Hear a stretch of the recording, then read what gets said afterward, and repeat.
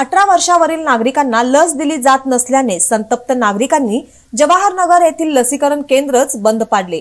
तर नगरसेवक राजू बोंद्रे यांनी लसीकरण संदर्भात पाठपुरावा करूनही प्रशासनात समन्वय नसल्याचा आरोप केला. सुमारे अडीच तास हे आंदोलन सुरू होते. इचलकरंजी नगर परिषदेच्या वतीने अठरा ते पंचेचाळीस पर्यंत नागरिकांसाठी कोविड प्रतिबंधक लस सुरू करण्यात येत असल्याचे जाहीर करण्यात आले आहे. मात्र प्रत्यक्षात लसीकरण केंद्रावर या वयोगटासाठी लसच मिळत नाही.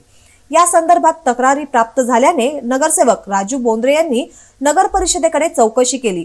मात्र अधिकाऱ्यांकडून केवळ एकमेकांकडे बोट दाखविण्यात आले.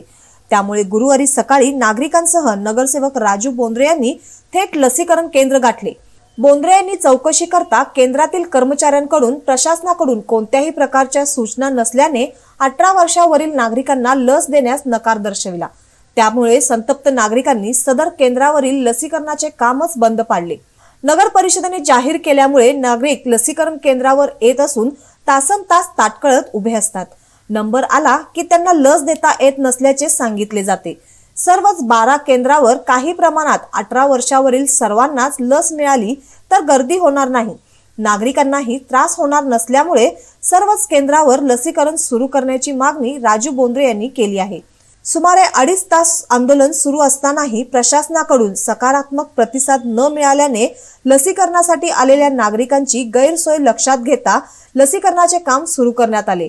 अठरा वर्षावरील नागरिकांचे लसीकरण चार दिवसात सुरू न झाल्यास पुन्हा लसीकरण केंद्र बंद पाडण्याचा इशारा यावेळी नगरसेवक राजू बोंद्रे यांनी दिला आहे.